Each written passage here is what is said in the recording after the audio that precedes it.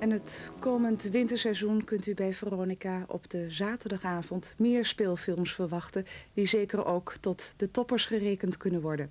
Kijk daarom de komende weken naar Veronica en dat kan al vanaf aanstaande donderdag om 4 uur middags op Nederland 1 met onder andere de tweede aflevering van Evening in Byzantium, De Heilige Koe en een documentaire over de milieuorganisatie Greenpeace.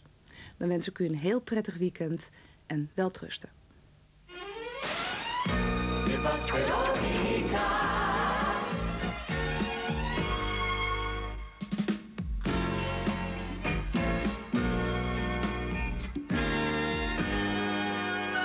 Gott, sie